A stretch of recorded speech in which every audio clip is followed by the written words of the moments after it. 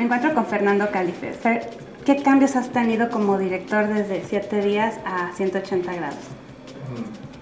Creo que me tomo más eh, en serio muchas de las cosas. Eh, era un poco más el tono de comedia en 7 días. eh, y busco historias mucho más profundas que lleguen al fondo del corazón. ¿Qué estabas pensando, haciendo o en qué momento te llegó este guion, esta historia para que te motivara a ti para hacerla? Cuando México perdió con Argentina en el Mundial del 2006, yo atravesaba un momento muy difícil, no me gustó nada. ¿Cómo incluso perdimos?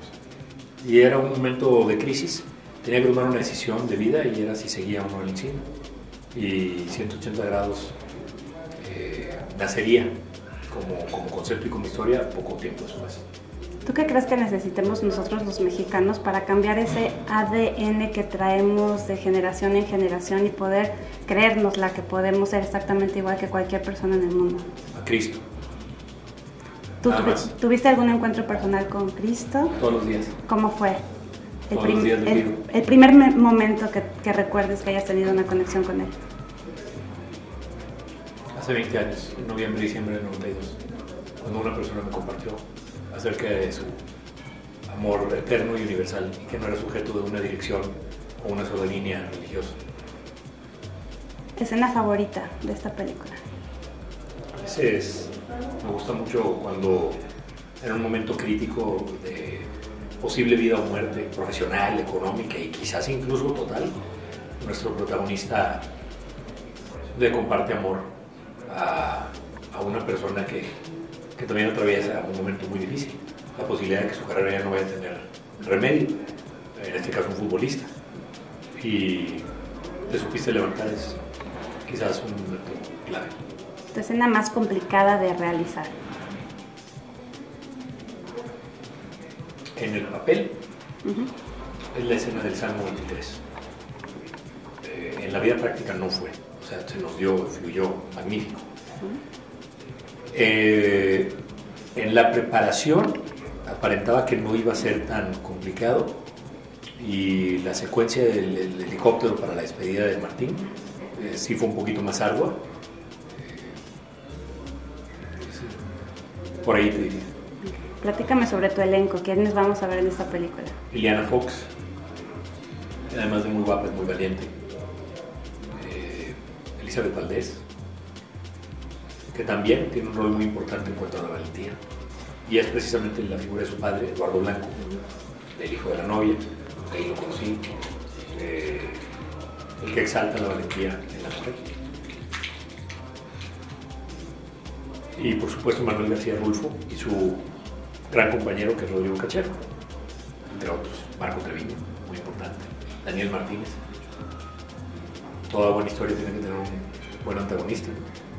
Eso le tocó a Daniel. ¿Cómo fue el contacto que tuviste con ellos para que aceptaran venir a trabajar a tu película? Ricardo Hernández, como agente de casting, como director de casting, él fue el artista de todo. Me comentabas que esta película se realizó hace ¿cuánto? Entre 3 y 4 años. Locaciones, Número de locaciones, Ajá. 72. lugares claves de locaciones. Bueno, los, los campos verdes y montañas en entrenamiento eh, dan oxígeno muy hermoso con la música de Kelly Garamendi, Viajas en Esperanza, el parque, quizás mi locación favorita. Eh, eh, eh, filmar en el, set de un equipo profesional de fútbol enriquece el ambiente, este, en este caso en el barrial. Eh, en general me gustan mucho ahora que las veo eh, pues digamos, más como espectador, las disfruto mucho siempre pasa en- durante las filmaciones cosas. ¿Qué bloopers o anécdotas mm, te gustaría compartirme que hayan ocurrido durante el rodaje? Mira, hay una que es, ahorita estábamos tú y yo comentando, Liz, es, Así es. en el papel, mis cuatro compañeros de producción, cuatro, ¿eh? Toñito, Rapilleta, Víctor, todos, incluyendo el fotógrafo y tu servidor y mi first AD, Ok. veíamos que esa escena iba a tomar cuatro días. Y fue fabuloso, porque teníamos un espacio prestado en un hotel por dos días, que acabamos en un día y medio. Wow. Y fue la única vez que nos pasó algo así en toda la, toda la filmación. En un día y medio, algo que en teoría iba a tomar cuatro días. Bueno, Dios bendijo. Vaya que sí. La pasamos muy bien. Creo, creo que la secuencia es quizás de las más completas en su, en su arte. Si tú ves todo como respira de principio a fin, desde el campo abierto de la llegada de este hombre tramposo reducido a casi nada, pero su cinismo cómo va creciendo y aparenta que lo hace una gran persona, para darnos cuenta de que esa mentira mexicana a nadie nunca hizo más, pero que si hay algo que alguien puede hacerlo salir de la ceniza, de la putrefacción y perdición a cobrar vida, eh, pues yo creo que es la escena mejor lograda en ese sentido. Vaya que sí. Sí. 180 grados. ¿A quién se le ocurrió el título de esta película? ¿A tu servidor? Y ahora sí, en tu vida personal, obviamente, si lo quieres compartir, ¿cuál ha sido el momento en tu vida que ha dado esos 180 grados? Que te hizo cambiar de alguna manera en algún aspecto personal tuyo.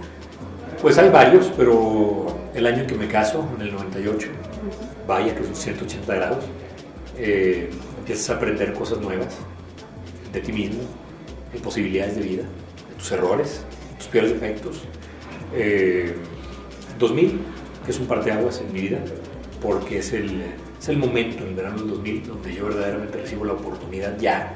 Eh, la Universidad de California me invita a su maestría como visiting scholar y soy el único mexicano que han eh, privilegiado con ese honor y pues a mí me sirvió mucho. Son momentos muy importantes de, de 180 grados. Cuéntame cómo se dio todo esto en Sudáfrica con Nelson Mandela, con el apoyo también de la ONU. ¿Cómo fue que llegó esa película, que la vieron, que quisieron ellos aportar? Alejandro Hit Valenzuela, amigo de aquí del DF, eh, muy entusiasta, amante del cine, pero también de los deportes, contactó a las fundaciones y les dijo, tenemos una gran película, él es uno de mis productores asociados, y contactó a la Fundación Nelson Mandela, la vio su gente, aplaudió en favor, apoyaron mucho, y el que incluso se tomó la, la gran amabilidad de escribirme una carta llena de elogios, que me autorizó sin duda alguna a, a publicar, fue Kofi Annan. Y pues como podrás ver no se guardó nada. Y me encanta cuando dice esto es una historia universal que todo el mundo debería ver. Bueno esperemos.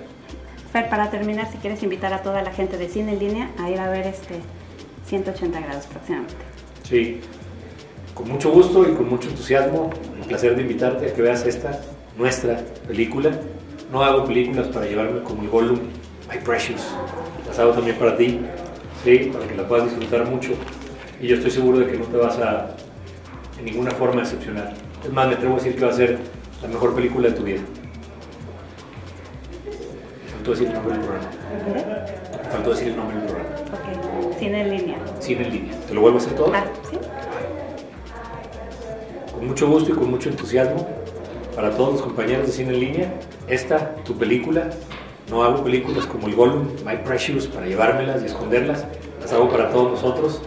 Disfrútala mucho, compañera de 17 años. Ya te vi, ya te vi. Disfrútala mucho porque le va a traer alegría a tu corazón y a tu vida. Y a ti, compañero. Porque creo en, los hombres y mujeres que podemos valer mucho más y que el cine es un vehículo para alimentarnos. Corte.